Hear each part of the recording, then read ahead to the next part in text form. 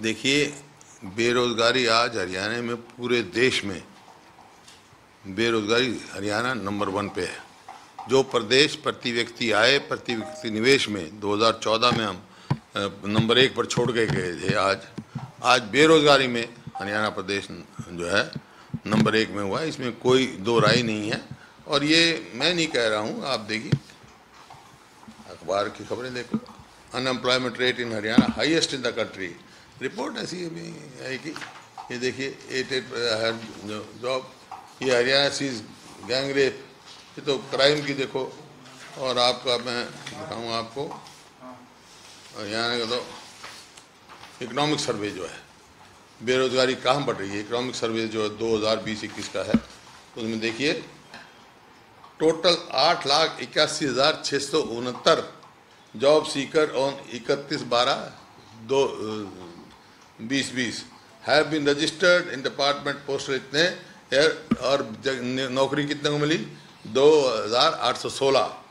Person have been placed against notified vacancies under तो कहाँ बेरोजगारी, कहाँ रुकेगी? बेरोजगारी तो बहुत बड़ी है, क्योंकि जो, जिस प्रकार से आप कह रहे हो, प्रति व्यक्ति जो निवेश में था, आज अकेले फरीदाबाद से बहुत सारे फैक्ट्रियाँ प्लान कर गई। लाखों जो हैं अकेले फरीदाबाद फरीदाबाद में बेरोजगार हो गई इसी तरह गुड़गांव में भी और जो नए हमने आईएमटी बनाए थे, उसमें कोई वो नहीं आया इन्वेस्टमेंट नहीं आया। हाँ इवेंट मैनेजमेंट की सरकार है। इवेंट मैनेजमेंट किया था इन्होंने। गुड़गांव में हैपनिंग इन हरियाणा के नाम से। उस टाइम कहा था कि भाई छः लाख करोड़ या पाँच लाख करोड़ की इन्वेस्टमेंट आएँगी। आई नहीं, पाँच हज़ार करोड़ की भी, दस हज़ार करोड़ की भी नहीं हज़ारों में की, करोड़ की भी नहीं तो कहाँ से आए अनएम्प्लॉयमेंट आई और ये जो आप कह रहे हो पचहत्तर परसेंट का, ये तो बड़ा भारी धोखा बेरोज़गारों के साथ किया है।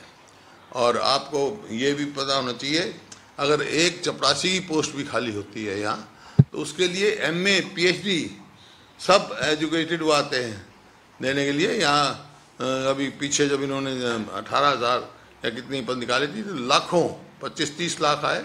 उसमें बीस लाख कम से कम ग्रेजुएट और एम ए और पी एच डी बच्चे थे। तो अभी हाई कोर्ट में जो चपरासी की जगह निकली हैं, वहाँ ग्रेजुएट और एम फिल और पी एच डी लोगों ने दी है। बेरोजगारी की तो ये हालात पहुँची हुई हैं।